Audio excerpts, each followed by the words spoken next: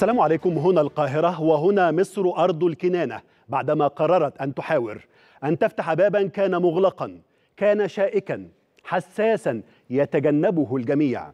هي دولة أمام تحديات جمة تقابلها تؤرقها تضغط بكامل حملها عليها وعلى أهلها.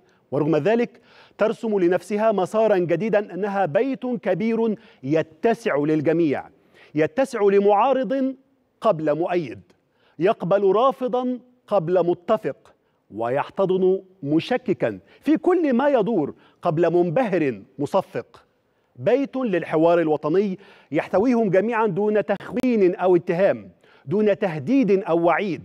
الكل سواء طالما يقدم مصلحة بلاده على مصلحة فردية أو حزبية ضيقة. هي صفحة بيضاء جديدة الكل يأمل فيها أن تكون ماحية لسنين مضت كانت مغيرة كلا وجزءا. الكل ينتظر ويتساءل أحقيقي ما يحدث؟ أهناك جدية في استيعاب المختلف والمتفق دون تمييز أم سيكون امرا تجميليا؟ وفقط فقط من لديه الإجابة؟ أهل مصر المشاركون بكافة فئاتهم طوائفهم أحزابهم الكبير فيهم والصغير العالم فيهم ببواطن الأمور ومن لا يعلم. هم فقط من بيدهم مفاتيح الحل والعقد ومن بيدهم تغيير الحال من حال إلى بإذن المولى. أحسن حال. سلامنا الله وإياكم.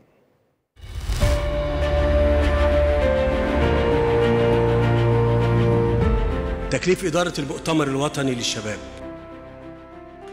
بالتنسيق مع كافة التيارات السياسية الحزبية والشبابية. لإدارة حوار سياسي حول أولويات العمل الوطني خلال المرحلة الراهنة.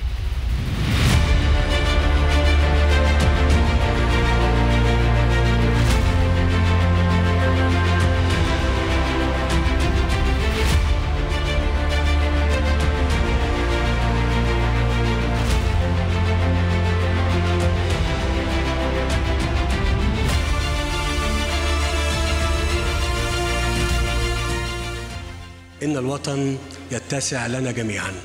وإن الاختلاف في الرأي لا يفسد للوطن قضية. لا يفسد للوطن قضية.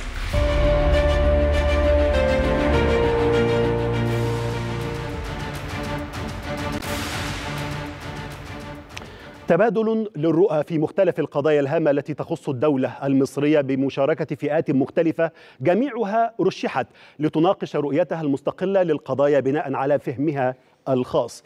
كان من بين هذه القضايا ملف الحريات السياسية الذي يعد أهم الملفات التي تناقش داخل الحوار الوطني في الوقت الحالي. اسمحوا لنا للمزيد من الحوار والنقاش عن هذا الأمر. أرحب بضيوفي ملف اليوم على القاهرة الإخبارية الدكتور عصام خليل رئيس حزب المصريين الأحرار والدكتور محمد فايز فرحات عضو مجلس أمناء الحوار الوطني والسيد عماد الدين حسين عضو مجلس أمناء الحوار الوطني. أهلا بكم جميعا. واسمحوا لي أن أبدأ بالدكتور عصام. دكتور عصام لماذا هذا الحوار الوطني في هذه أو في هذه الآونة قد ينظر البعض ويقول مصر في هذه الآونة يسود حولها التوتر من كل اتجاه وهناك ضغوط اقتصادية للغاية. فما الداعي لحوار كهذا؟ الحقيقة طبعا خليني أشكر حضرتك على السؤال الرائع ده. الحقيقة إحنا الحوار الوطني هو جه في مرحلة من ضمن المراحل المطلوبة جدا لأن مصر مرت في العقد الأخير بكذا مرحلة. من بداية من 2011 ثم ثورة 2000 ثورة يونيو 2013 واللي إحنا على مقربة من الاحتفال بالذكرى العاشرة فيه. وبالتالي إحنا داخلين على مرحلة جديدة وده كان مفهوم من دعوة فخامة الرئيس عبد الفتاح السيسي إلى هذا الحوار اللي هو أولويات العمل الوطني للجمهورية الجديدة. مصر بتمر بمراحل علشان توصل للمرحلة الجديدة بعد عقود طويلة جدا من الركود سواء كان الركود السياسي أو الركود الاقتصادي أو حتى الركود الاجتماعي. وهنا جت أهمية الثلاث محاور وجه أهمية وضع الحوار لأنه بيضع استراتيجية ورؤية جديدة إلى الجمهورية الجديدة. وأساس الجمهورية الجديدة هو التشاركية أن جميع أبناء الوطن متشاركين في بناء هذا الوطن بطرح رؤاهم المختلفة في مختلف وشتى المجالات سواء كانت سياسية أو اجتماعية أو أو اقتصادية. وبالتالي إحنا بنقول دي أهمية الحوار في هذه المرحلة ودي الدعوة إلى الحوار. زائد إنه حضرتك في سؤالك بتقول دعوة الحوار في وقت في أزمات اقتصادية وفي أزمات سياسية في المنطقة المحيطة بنا. طبعا دي بتدينا وجهة أكتر لوجود لهذا الحوار. لأن إحنا المفروض وإحنا في الحوار بنتحاور جميعا من أرضية وطنية من أجل الوطن. فجميعنا في مسؤولية مشتركة إزاي نتكلم في الجزء السياسي إزاي إن إحنا نضع أفكارنا علشان نحافظ على حدودنا نحافظ على وطننا ونعمل حياة سياسية جديدة تكون زي ما بيقولوا كده اللي هي السوليد حياة سياسية قوية متماسكة في, في ظهر بلدنا. وأيضا طبعا المرحلة قد يرد البعض في هذه النقطة بالذات ويقول الدولة المصرية في هكذا توقيت يعني تود أن تذهب أو تسير دون معارضة دون اختلاف في في مصاريها في هذه الأوقات الصعبة. هو إحنا خلينا يعني عشان نقول المفهوم الصحيح للمعارضة. يعني المعارضة لها مفهوم. الحقيقة إحنا على مدار العقود اللي فاتت في كثير من المفاهيم عندنا بقت مفاهيم مغلوطة. وهدي لحضرتك مثالين واضحين باعتبار إن دول مجال الحوار النهارده.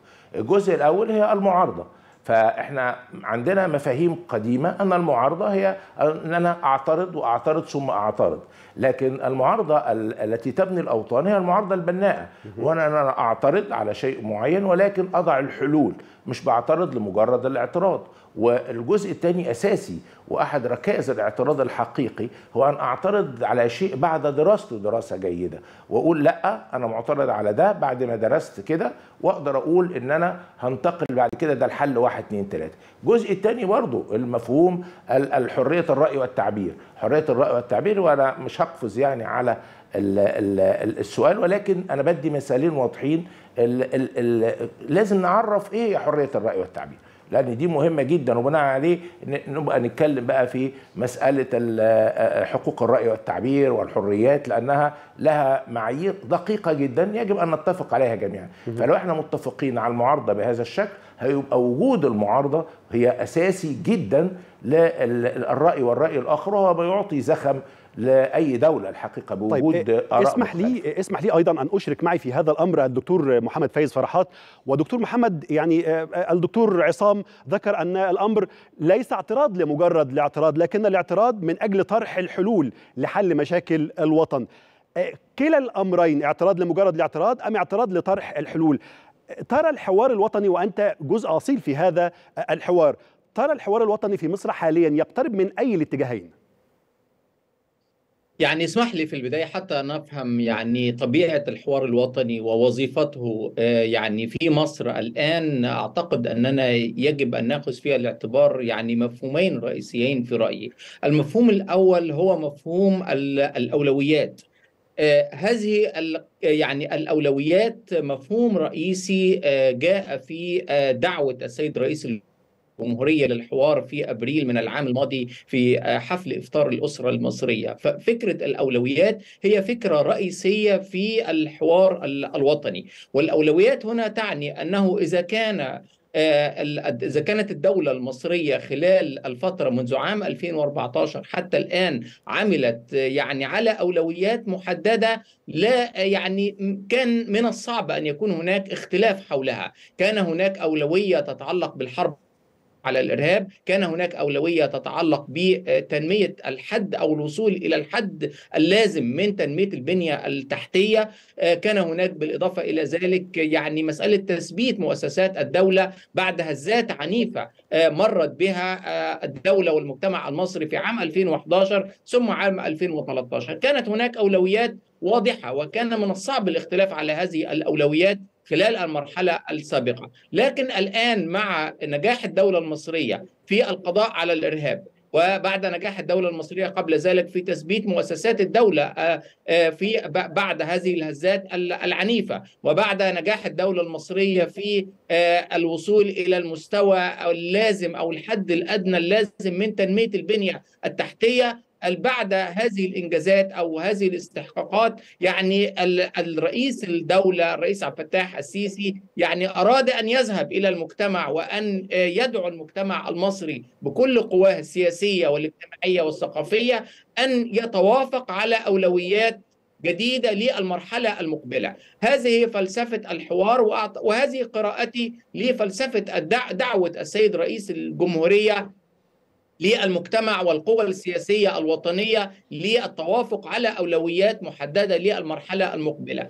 المفهوم الثاني في رأيي هو مفهوم النموذج، والنموذج هنا يعني كل دولة في مشروع النهضة والتطور كان لديها نموذج، نموذج في المزج بين الأولويات، نموذج في المزج بين التنمية الاقتصادية والتنمية السياسية والثقافية والاجتماعية. وكل دولة لها كان لها مسارها الخاص. كان هناك مسارات للقوى الأوروبية أو الاقتصادات الأوروبية في مراحل سابقة وهناك مسارات اتخذتها أو وضعتها الدول التنمو... الدول الآسيوية في مراحل مختلفة عندما بدأت تجاربها التنموية. الدولة المصرية أيضا لها نموذجها أو هي على طريق وضع وتطوير نموذجها في التطور وفي التحول الفترة السابقة واستنادا إلى أننا في.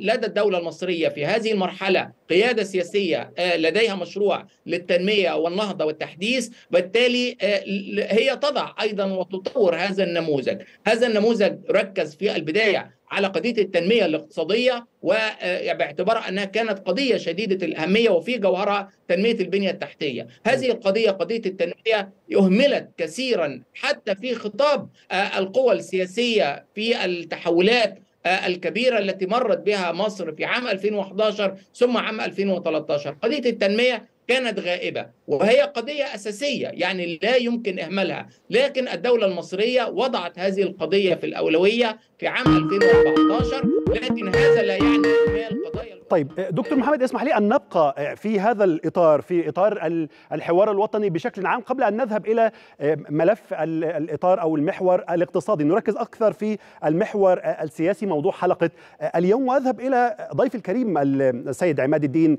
حسين والبعض يصف الحوار الوطني بأنه صفحة جديدة بأنه باب جديد تفتحه الدولة المصرية.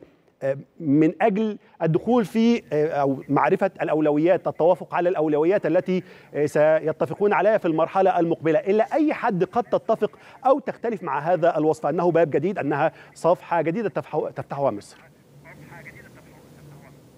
السلام عليكم ورحمة الله وبركاته. تحياتي لك ولضيفيك الكريمين. بطبيعة الحال هو التعبير صحيح لأنه لم يكن هناك حينما تم إطلاق الدعوة للحوار في 26 أبريل من العام الماضي لم يكن هناك حوار. الحياة السياسية في مصر كانت شبه معطلة وكلنا نعرف الأسباب. كانت هناك تحديات كثيرة خصوصا تحدي الإرهاب والعنف ومحاولة تثبيت أركان الدولة من جديد و يعني إعادة الاعتبار للبنية التحتية تمهيدا للانطلاق في عملية الإصلاح الاقتصادي. هذين التحديين هما اللذان فرضا عدم وجود حوار سياسي أو حياة سياسية بالمعنى المفهوم خصوصا أن مصر عانت كثيرا من الإرهاب في هذا الفترة. بطبيعة الحال الحوار الوطني يعني فتح صفحة جديدة إذا قورن الأمر بما كان قبلها. قبل هذا الحوار لم يكن هناك حوار سياسي بين القوى السياسية إلى حد كبير وكانت كانت الحكومة والدولة مشغولة بالإرهاب بمقاومة الإرهاب أو بالتنمية. وبالتالي هناك صفحة جديدة نعم لكن لم نع... لم نعرف حتى الآن ما هي الطبيعة طبيعة هذه الصفحة الجديدة التي نحاول بطبيعة الحال أن نستوضحها خلال جلسات الحوار وما سيسفر عنه الحوار. مجرد أن يجلس كل مصر تقريبا يعني كما وضح في قاعة نفرتيتي يوم الأربعاء قبل الماضي الثالث من مايو في الجلسة الافتتاحية الحوار الوطني كان واضح إن في فعلا مصر مختلفة تماما مقارنة بما كان عليه الوضع من 2013 كل القوى السياسية في مصر موجودين تحت سقف هذه القاعة. الكل يتبادل الآراء والأفكار والحجج وكل يعني خلاف بالكلمات أو أو بحث سيد عماد هل تستبشر أم تتخوف من سقف الحريات والتعبير في الفترة المقبلة والذي يعبر عنه الحوار الوطني؟ بطبيعة الحال كلما كان هناك يعني أنا من أنصار فكرة يعني فكرة التفاؤل والتشاؤم لا أحبذها كثيرا. أنا رجل إلى حد ما أحاول أن أكون واقعيا. وبالتالي وربما يكون هذا حتى حلا أو إجابة مختلفة على السؤال الذي تفضل تفضلت بطرحه على الدكتور عصام خليل. القانون طالما أن هناك قانون لا نترك الأمر للنوايا. بمعنى مش أنا ولا حد تاني لا يحدد هل الأحزاب كويسة ولا وحشة؟ هل في انفلات ولا؟ القانون هو الذي يفترض أن يعمل ذلك. بمعنى إنه أنا بعمل انتخابات مثلا في انتخابات بتجرى في أحزاب بتنزل كل حزب عنده برنامج الناس بيروحوا يصوتوا لهذا الحزب بناء على هذا البرنامج.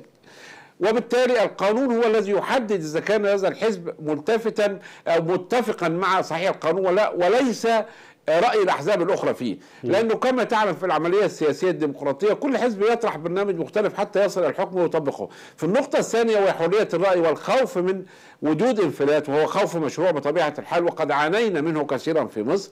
فالطبيعي إنه في قانون يحدد هذه الممارسات الإعلامية وقانون واضح وصارم ومن يخرج عليه عليه يتم معاقبته بالقانون. ومن يعني ومن يلتزم به أهلا وسهلا. وبالتالي أنا لا أخشى فكرة وجود انفلات من عدمه طالما أن صحيح القانون يطبق على الجميع وبالتالي وقتها بالعكس أنا أظن أن هذا سيثبت يعني فكرة الحريات أكثر. لكن النقطة المهمة في في كل هذا هو ليس الأمر فقط تطبيق القانون وجود القانون أو تطبيقه. المهم أن تكون هناك بيئة صالحة ومناسبة تعني تجعل الناس يعني يمارسون حرياتهم بأكبر قدر من الوضوح وبالتالي لا نسمح بدخول على سبيل المثال متطرفين أو إرهابيين أو يعني ناس بيشتروا انتخابات بالفلوس تحت حجة الديمقراطية. وأيضا ألا نسمح بانتهاك الحريات تحت دعوى الحرية.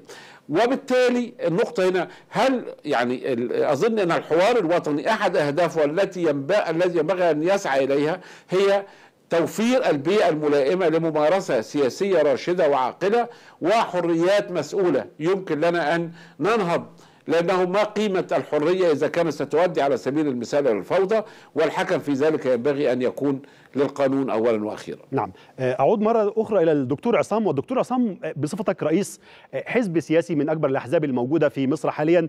ما الذي تعولون عليه كأحزاب من الحوار الوطني؟ هل الدولة المصرية تتدخل من أجل أن ترسخ أقدام الأحزاب المصرية في الشارع المصري؟ أم أنتم من تسعون لذلك كأحزاب؟ أم أن البيئة المناسبة تعولون على بيئة مناسبة تجعلكم قريبين من المواطن المصري؟ هي الحقيقة اللي هي مسألة مشتركة بين الجميع هو مثلث.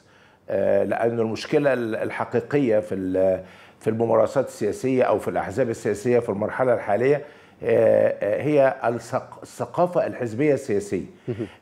على يعني إحنا عايزين نقول على مدار عقود كان الانضمام للأحزاب لا يعني لا يتم عن طريق الأيديولوجية. يعني هنا هقول الجزء الأولاني اللي هو جزء الثقافة بين المواطنين. يعني لازم أنا أبقى كمواطن أنا منضم للحزب الفلاني لأن أنا شايف إن الأيديولوجية بتاعته سواء كانت أيديولوجية في هل هو وسط يمين الوسط يسار الوسط ليبرالي أو اشتراكي وداخل هذا بقى برامجه وأهدافه. آه وبناء عليه أنا بنضم ليه فبقى ده انضمام ليه. لا أنا بنضم ليه عشان خاطر اللي على رأس هذا الحزب أو من يوجد هم ناس معرفة أو أصحاب أو أنا بحبهم. وفي نفس الوقت عشان ما يبقاش أنا بنضم ليه لمجرد إن أنا عايز أوصل لكرسي في البرلمان أو كرسي في في المحليات. ده الجزء الأولاني اللي هي الثقافة ونبني عليها بقى الباقي اللي هو دور مسانده الدولة زي ما حضرتك بتقول. مساندة الدولة أنا لا أقصد إطلاقا هو الدعم العيني وإحنا قصدي الدعم المالي للأحزاب السياسية لأن الدولة فيها ما يكفيها ولكن يمكن من خلال بعض تغييرات في بعض قانون الأحزاب السياسية إن إحنا يبقى في مجال أكتر إن يبقى دعم بصورة غير مباشرة بما معنى يعني علشان ما أطولش في النقط دي كتير إنه على سبيل المثال التبرع للأحزاب يتم خصمه من الضرائب زي الجمعيات الأهلية مثلا. أقدر أقول إن الأحزاب يمكن أن تمارس نشاطات استثمارية تستطيع أن تدر لها دخلا من قد يتوقف البعض هنا في هذه النقطة ويقول الأحزاب في كل دول أو في أغلب دول العالم مما عرفناها لا تتلقى دعما من الدولة لكنها تتلقى دعما من يعني التبرعات. ما عشان كده أنا قلت لحضرتك لأنه هنا النهارده في حالات التبرع اولا ما فيش الثقافة هو هيتبرع ليه للحزب أو هيديله ليه إلا لو كان له غرض شخصي لكن لو هو داخل على ايديولوجية وعايز ينمي الايديولوجية ويكبر الحزب ده لأن هو بينتمي ليه بينتمي للفكرة دي الحقيقة هيقدر إنه يتبرع وفي نفس الوقت يبقى تشجيع ليه إنه هذا التبرع دعني دعني دكتور عصام أتوقف عند الجزئية الماضية الصغيرة الماضية. يعني أنه يدخل الحزب من أجل غرض ما من أجل أن يكون عضوا في البرلمان أو في منصب ما. أليس هذا من الأساس هو وظيفة الأحزاب أن تسعى للسلطة؟ ده حقيقي. ده أنا لكن أنا بقول الغرض هو أن تسعى للسلطة من أجل تطبيق مبادئها.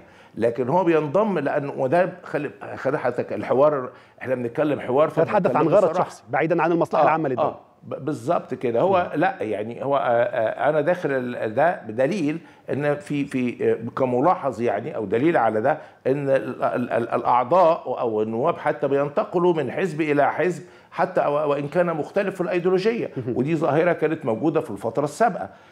وبالتالي ده ده أنا بدللك أو بدي لك دلالات على إزاي إن هو بيبقى هو مش مش هدفه الأيديولوجية. هو هدفه إن أنا آه الحزب ده الرؤية بتقول إنه ممكن يبقى له كراسي أكتر في البرلمان فأنا أروح يمكن يكون لي فيه نصيب. بعد ما بيخلص دوره بيروح لحزب آخر.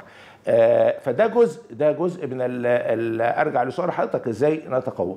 الجزء الثاني إن الدولة المصرية يعني في في في يعني مفهوم الحزب الحقيقي إن هو تشانل هو وسيلة اتصال أيضا ما بين الحكومة وما بين الشعب.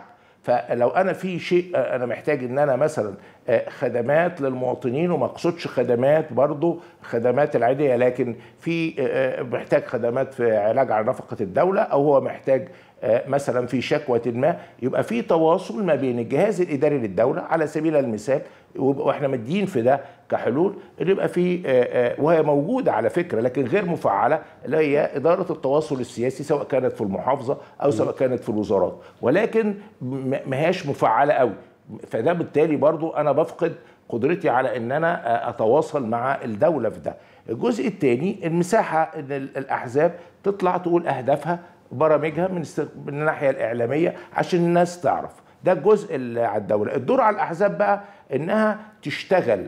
بما معنى؟ إن لازم في أوضاع تتقننها في تعمل دورات تدريب وتثقيف وتعود إلى كمدرسة وأكاديمية لإخراج رجال سياسة ورجال دولة لأن الحقيقة الأحزاب السياسية هي المدارس الحقيقية هي المعترك الحقيقي عشان أطلع ناس سياسيين. الأحزاب المصرية هي بالتأكيد المدارس السياسية الحقيقية. اسمح لي أن أذهب بهذه الجملة إلى ضيفي الكريم الدكتور محمد فايز فرحات. ودكتور محمد يعني ضيفي الكريم منذ دقائق الدكتور عصام ذكر أن هناك أحزاب سياسية كثيرة بتوجهات كثيرة. هناك يمين يمين وسط هناك ليبرالي هناك اشتراكي.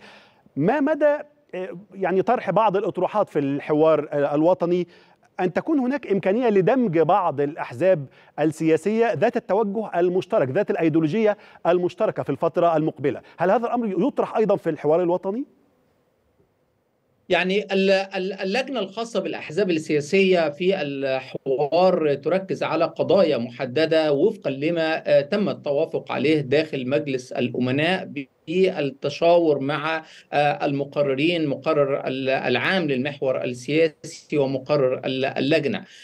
تم التوافق على قضايا أساسية وهي قضايا ثلاث القضية الخاصة بما هي المعوقات التي تواجه يعني عمل الأحزاب. هذا هذا هذه نقطة أساسية أو محور رئيسي. بالتأكيد ستكون هناك وجهات نظر كثيرة فيما يتعلق بالإجابة على هذا السؤال. كيف يمكن تفعيل الأحزاب السياسية وكيف يمكن وما هي المعوقات التي تواجه عملها وكيف يمكن إزالة هذه المعوقات والمتوقع أن يكون هناك إجراءات أو إجابات عملية على هذه هذا المحور. المحور الثاني يتعلق بالحوكمة داخل الأحزاب السياسية والحوكمة هنا الحوكمة المالية والحوكمة الإدارية.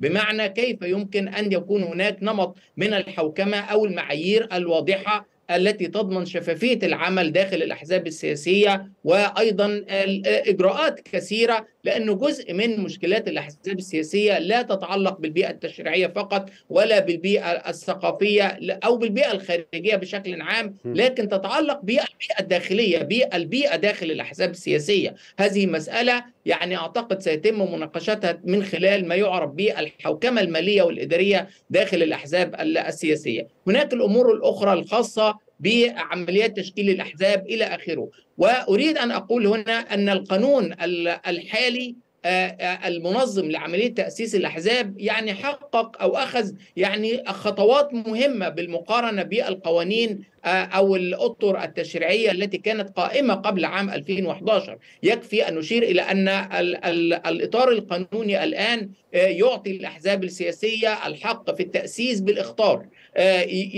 أخذ خطوات مهمة في مجال أو في عمليات تأسيس الأحزاب أو حل الأحزاب. إلى آخره. كل هذه أمور يعني القانون الحالي يتضمن إجراءات و و و وتسهيلات كثيرة جدا بالمقارنة بما كان عليه الوضع قبل عام 2011 لكن هل هذا كافي؟ وفقا لما هو يعني واضح حتى الآن أن الأحزاب السياسية تتحدث عن أن هناك مشكلة في عمل الأحزاب السياسية. لكن كيف يمكن التعامل مع هذه المشكلة؟ هذه هي القضايا, ال ال ال القضايا التي ستناقشها اللجنة ولا نريد أن نصادر على ما ستنتهي إليه اللجنة. لكن ما يمكن التأكيد عليه هنا من وجهة نظري أن مسألة الانتماء أو تفعيل الأحزاب يعتمد على جهود كبيرة من جانب الأحزاب السياسية نفسها. يعتمد على أيضا تشجيع فكرة المشاركة في المجتمع.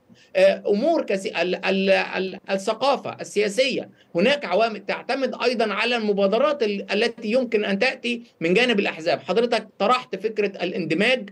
فكرة الاندماج مهمة جدا وأعتقد أنها فكرة يعني قائمة حتى يعني خارج الأحزاب ال ال ال خارج الإطار القانوني. يعني لدينا أشكال الآن للتنسيق بين الأحزاب السياسية مثل تنسيقية شباب الأحزاب. هناك أطر أو بوادر مهمة لإمكانية التنسيق بين الأحزاب السياسية وأعتقد أن هذه الفكرة يمكن البناء عليها قد تذهب بعض الأحزاب السياسية إلى أن الاندماج مع أحزاب أخرى قريبة معها في التفكير وقريبة معها في طبيعة القواعد الاجتماعية التي تستند إليها بشكل يفتح أو يؤسس لفكرة الاندماج بين بين بعض هذه الأحزاب نعم. فبالتالي جزء المسؤولية يقع بالفعل على الأحزاب السياسية بعيدا عن الإطار القانوني أو الإطار التشريعي المنظم لعمل الأحزاب السياسية، لكن بالتأكيد ما ستنتهي إليه هذه اللجنة من أفكار أو من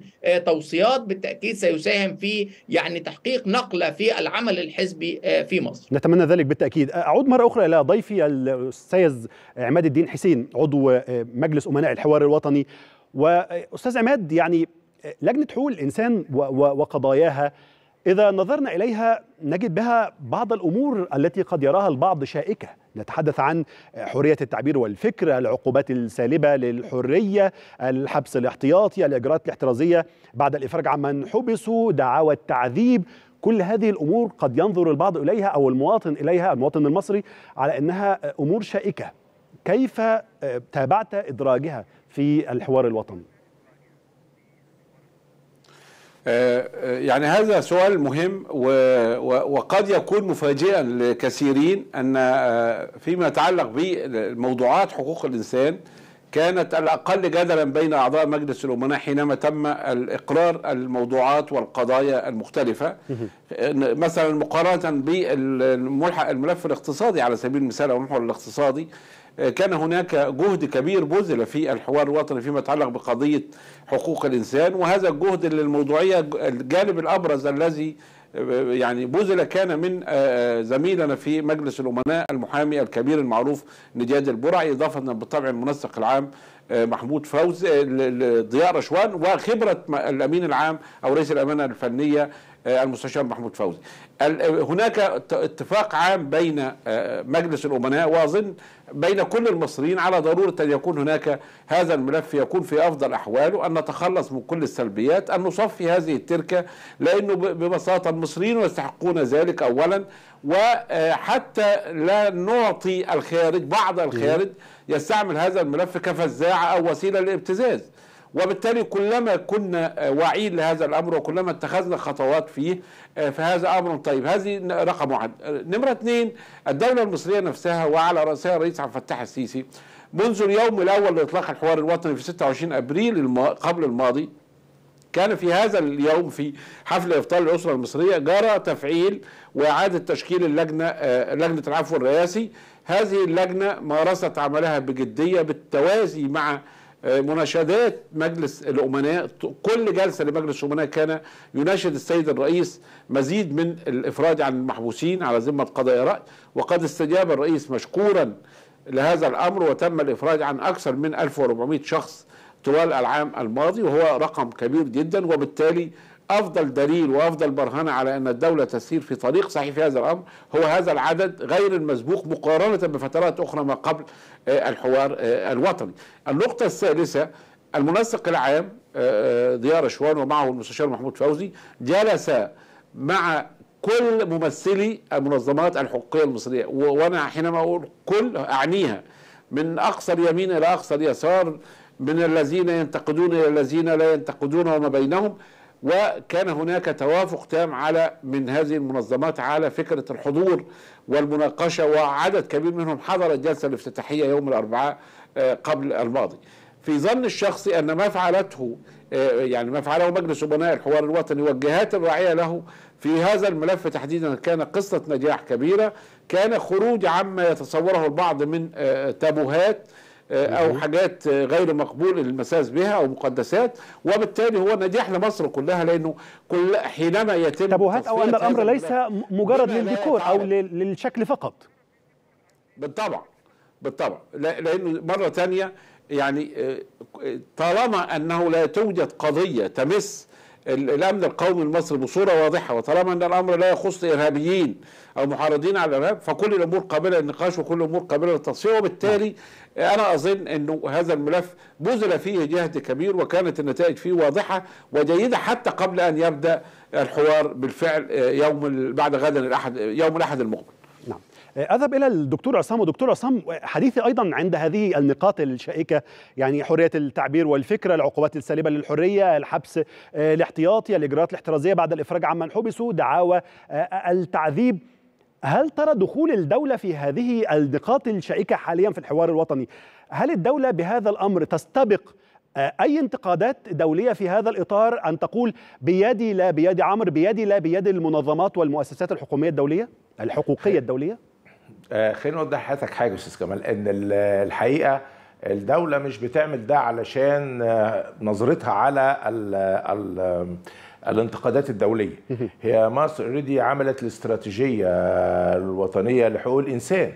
ولازم لما نيجي نقول يعني الاستراتيجية الوطنية لحقوق الإنسان هي بمفهومنا المصري الحقيقي ما هي الاستراتيجية الوطنية لحقوق الإنسان.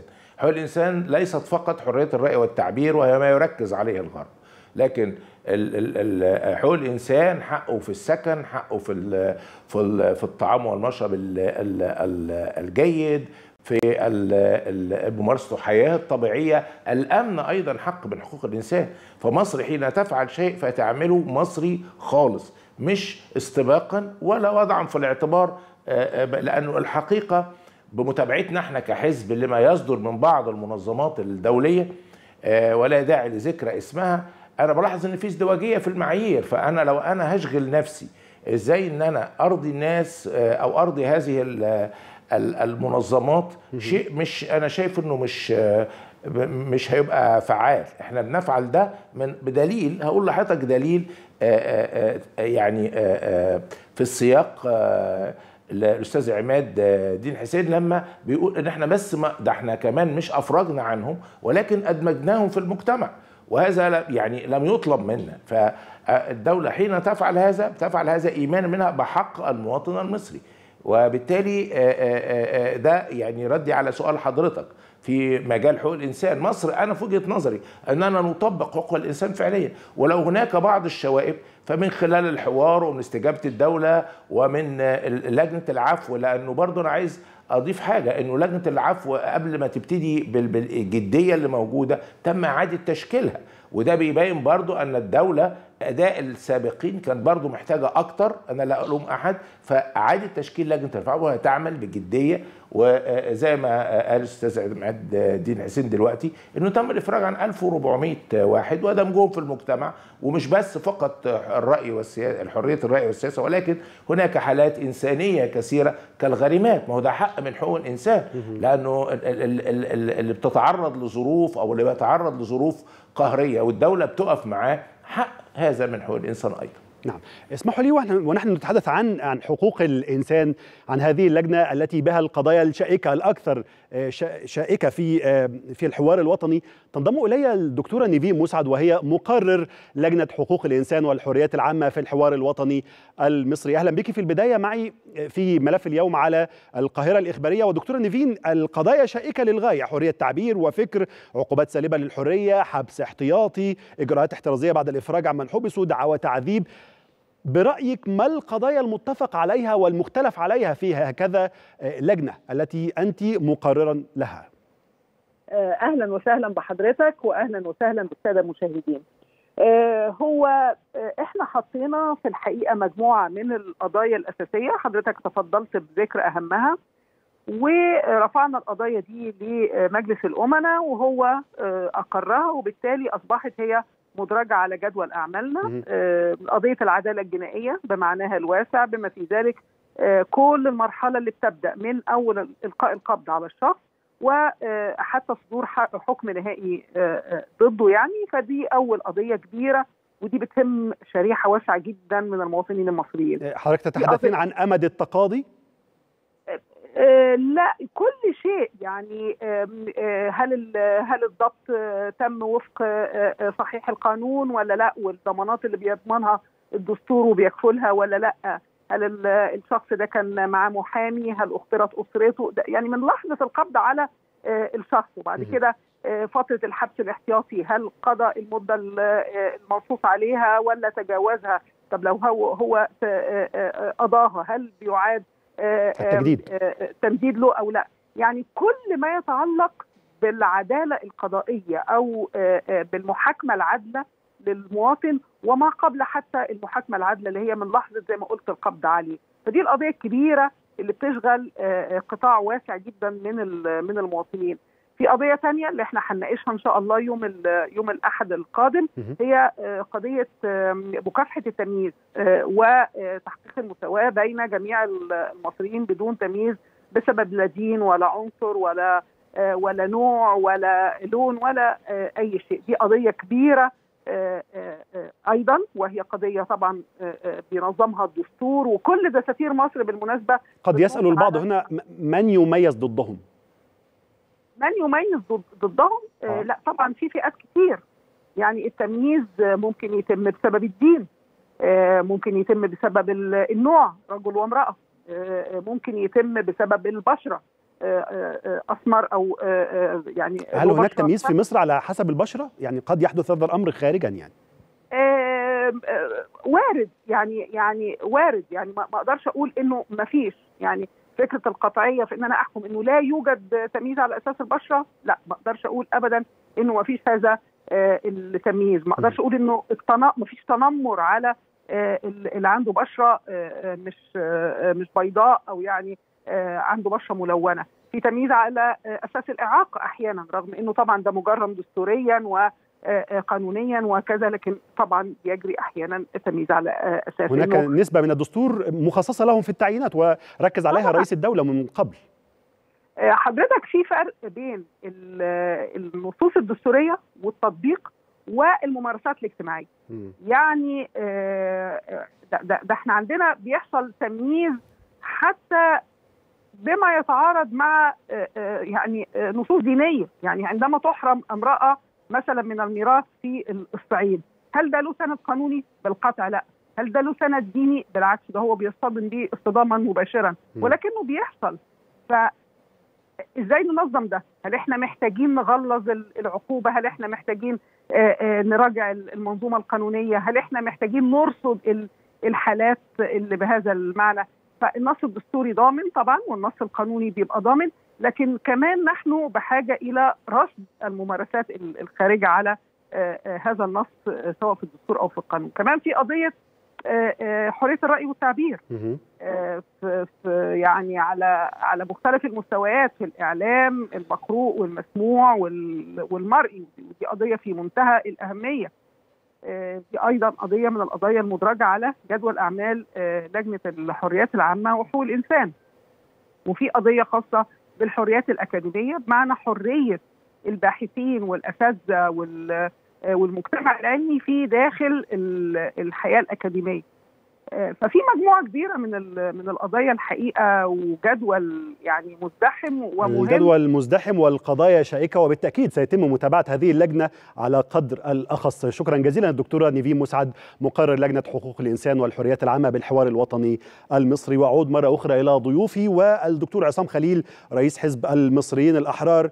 لو نتحدث الآن عن لجنة المحليات أيضا المحليات إذا أردنا أن نضع الأمور في نصابها.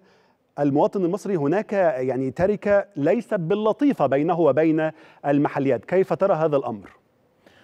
هو الحقيقة قوانين المحليات وكان منصوص عليها في الدستور في دستور 2014 ولكن اللي أنا عايز أوضحه لحضرتك لأنه حتى من 2015 في برلمان 2015 حدثت محاولات كثيرة لإصدار قانون سواء كان الإدارة المحلية أو قانون انتخابات المحليات. نعم.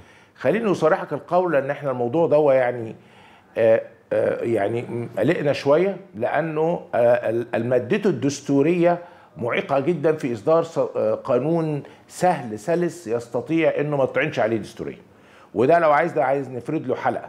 لأنه حط فيه توصيفات معينة. الحقيقة أنا يعني وطبعا طبعا إحنا بنحترم الأطر العامة والأسس اللي وضعها الحوار الوطني ومجلس السادة مجلس الأمناء أنه لا كلام في التعديلات الدستورية. ولكن يعني الشيء بالشيء يذكر لأنه لما ألاقي إنه إنه بيذكر في القانون أو في مادته الدستورية الشباب 25% وفقط ونقطة ما قالش على الأقل. والمرأة 25% ونقطة وما قالش برضه على الأقل. وباجي في موائمة معينة وأقول 50% عمال وفلاحين على الأقل. وبعدين يدرج في مادة تمييز موجودة أيضا. وإحنا مادة دستورية فوق في الدستور بيقول إنه لا تمييز ولسه دكتورة نفيم بتقول هذا الكلام. آه وبالتالي لما أجي أقول مثلا المسيحيين والإعاقة يكونوا من العمال والفلاحين. طبعا عشان أعمل قانون بهذا الشكل هيبقى صعب جدا. إحنا درسنا 100 محاولة ومحاولة سواء كان في برلمان 2015 أو حتى في المرحلة الحالية. يعني آه ممكن يطلع وممكن نعمل فيه آه بعض المحاولات في الصياغات. ولكن أنا بقول هو من الصعب هل أنت من الأساس مع وضع ضمانات نسبية لعدد من الفئات أو ما درج على تسميته الكوتة لبعض الفئات أم لا؟ خليني أقول لحضرتك يمكن ده كان يكون له داعي في الفترات السابقة. لكن انت عارف حضرتك ان إحنا الحزب بتاعنا هو حزب ليبرالي. وأنا دايما في في, في الأحزاب حتى في المجال الاقتصادي وإن كان ده مش مجالنا اللي هو آليات السوق هي أكتر حاجة وأفضل حاجة. وبالتالي أنا كحزب عندي مرأة هحط المرأة لكن مش بالضرورة لازم أحط ممكن أحط أكتر من 25% يعني أنا أنا مثلا لو هاجي أقول لحضرتك لأن هرجع تاني للمادة الدستورية دي إنه لما أنا أجي أقول لحضرتك إن أنا عايز أضيف مرأة أكتر أو شباب والمحليات هي المحك الحقيقي إن أنا أثري بيه الحياة السياسية فلا بد إن أنا أبقى عايز أحط مثلا 60% شباب هقول آه أحطهم بس من ضمن العمال. ممكن دستوريا يطعن عليها يعني ده ده يعني مجال كبير قوي في في الحديث الحقيقة زائد إنه برضه لما جاء قال عمال وفلاحين ما قالش عمال وفلاحين. طب في مناطق مثلا هناخد منطقة زي مصر الجديدة. هجيب منين منها؟ عمال وفلاحين. فعشان كده بقول لحضرتك هذه المادة الدستورية يعني لا البرلمان اللي فات ولا البرلمان الحالي لأنه البرلمان اللي فات كان بيلام كيف أنه ما عملش القانون ده وده مهم وحاجة ملحة جدا في المحليات. وبالتالي أنا رأيي يعني مش هتكلم في الموضوع بتاع التعديل عشان كده بقول آه ممكن يطلع قانون لكن أنا يعني أشك وبقوة إنه مش هطعن عليه دستوريا. إحنا قعدنا نظبط كذا نظام انتخابي. لكن أنا في المرحلة الجاية وامل إنه في النظام الانتخابي الجديد إنه ما يكونش فيه نظام الكوتا لأنه الجميع مصريين وترك الآلية حتى في السياسة. العرض والطلب هو ده أفضل حاجة للمرحلة الجاية. دي وجهة نظرنا كحزب. ك- كحزب تستطيعون طرح هذا الأمر في الحوار الوطني في الفترة المقبلة بمشيئه الله. أعود مرة أخرى إلى ضيفي الدكتور محمد فايز فرحات. ودكتور محمد يعني نتحدث عن الإشراف القضائي أيضا على الانتخابات. هناك البعض قد يقول أغلب, دول العالم لا يطبق فيها الإشراف القضائي على الانتخابات. هم موظفون فقط من يشرفون. فلماذا الإشراف القضائي على الانتخابات؟ بالطبع رئيس الدولة المصرية قد وافق على هذا الطرح. لكن لماذا هذا الطرح من الأساس؟ يعني هناك نقطتين أساسيتين في هذا الإطار يعني يجب أخذهما في الاعتبار، النقطة الأولى هو أن معظم دول العالم بالفعل أو على الأقل أن هناك تجارب دولية أخذت بعدم الإشراف القضائي. وكان البديل هو أن تكون هناك هيئة مستقلة يعني لديها الكوادر ولديها الإمكانيات التي تمكنها من الإشراف على الانتخابات بشكل لا يؤدي إلى أي شكوك في نتائج هذه الانتخابات سواء من حيث النزاهة أو من حيث القدرة على التنظيم إلى آخره من القضايا المرتبطة أو المسائل المرتبطة بالانتخابات. هناك تجارب دولية بالفعل عديدة أخذت بهذا المنح أو بهذا المسار. وهذا ربما ما دفع واضعه الدستور المصري للأخذ بهذه التجارب أو بهذه هذا المسار وأعطوا فترة انتقالية للوصول إلى هذا البديل أو هذا الهدف. آه هذه نقطة. النقطة الأولى أن هناك واقع آه أو ثقافة مصرية حتى الآن آه لدى المواطن ولدى الناخب المصري يعني تربط بين النزاهة نزاهة الانتخابات وبين الإشراف القضائي. القضاء أو السلطة القضائية والقضاة يتمتعون بإحترام تقدير ووضع خاص لدى الناخب المصري ولدى المواطن المصري بشكل عام. وبالتالي انتهت من الناحية العملية انتهت المدة الانتقالية أو قاربت على الانتهاء لكن ربما يعني اللجنة الخاصة لجنة الانتخابات ربما لم تصل أو لم يتوفر لديها حتى الآن يعني توفير أو الإمكانات أو الوصول إلى الإمكانات المتاحة التي تمكنها من تنظيم الانتخابات بما يضمن يعني الوصول إلى التجارب الدولية. وبالتالي هنا مجلس الأمناء رأى بعد الرجوع إلى المادة الدستورية المنظمة أو المتعلقة بهذه المسألة وتأكد أن نص المادة الدستورية لا يمنع إمكانية إعطاء مهلة زمنية أخرى حتى يمكن الوصول إلى هذا الهدف أو الوصول إلى التجارب الدولية الموجودة في هذا الشأن. وبالتالي طالما وفقا لرؤية مجلس الأمناء طالما أن النص الدستوري يسمح بمد الإشراف القضائي على الانتخابات العامة في مصر كانت التوصية التي قدمها مجلس الأمناء. وبالتالي الأمر هنا لا يمثل أي انتهاك أو يعني مخالفة للنص الدستوري. المجلس الأمناء أكد على أن الدستور هو مرجع رئيسي أو أحد الموضوعات التي خارج الحوار. وبعد أن تأكد من ذلك يعني رأى أنه تجاوبا مع الثقافة ومع الإدراك لدى المواطنين ولدى الناخب المصري فيما يتعلق بأهمية الإشراف القضائي رأى إمكانية أن يكون هناك يعني تعديل تشريعي يسمح بالإشراف القضائي على الانتخابات وربما طيب. هذا التشريع الجديد يكون مدة انتقالية جديدة حتى الوصول إلى التجارب الدولية وربما لا نريد أن نصادر على ما يمكن أن ينتهي إليه التشريع لكن هذا في رأيي يفسر أو ما يفسر طيب. لنا لماذا اسمح لي عند يعني هذه النقطة حتى لا نترك هذه النقطة وبالتأكيد أنا أعتذر على المقاطعة لكن أذهب سريعا لضيق الوقت مع ضيفي الكريم السيد عماد الدين حسين. وعندما نتوقف عند هذه النقطة نقطة التخوف لدى البعض من عدم نزاهة الانتخابات كما حدث في سنين أو في أعوام سابقة. التخوف من هذا الأمر من عدم نزاهة الانتخابات وبالتالي المطالبة بإشراف قضائي كامل على كل الصناديق الانتخابية، البعض قد يقول أن الولايات المتحدة الأمريكية ذاتها يعني دونالد ترامب في الانتخابات الرئاسية الأخيرة شكك في نزاهة الانتخابات يعني تحدث عن تزوير الانتخابات الرئاسية الأمريكية وفي ذات الوقت لم يطالبوا لم يطالب أي أحد بإشراف قضائي في الولايات المتحدة الأمريكية فلماذا المطالبة بهكذا مطلب في مصر؟ آه هذا أيضا سؤال مهم لكن أيضا آه ونحن آه نتعامل مع مثل هذا الأمر علينا أن نكون يعني متأكدين أنه لا توجد أمثلة قاطعة تصلح للتشابه بين الدول المختلفة لسبب جوهري وهو اختلاف النضج السياسي بين هذه الدولة وتلك. كل دولة لديها تجربة سياسية مختلفة عن الأخرى وبالتالي لا أستطيع أن أقول أن أطبق المثل على حالتين أعرف أنك تطرح السؤال للتمييز بين النموذجين. في الولايات المتحدة على سبيل المثال ال الذي يجري الانتخابات هي الولايات واجهزتها المحلية لكن هذا النظام هو أيضا الذي سمح أن يسقط الرئيس الأمريكي دونالد ترامب رغم أنه هو الذي كان الرئيس في البيت الأبيض. هناك دول كثيرة لا ت... نعم أتفق معك لا تطبق الإشراف القضائي بمعناه الموجود عندنا لكن أمورها مستقرة.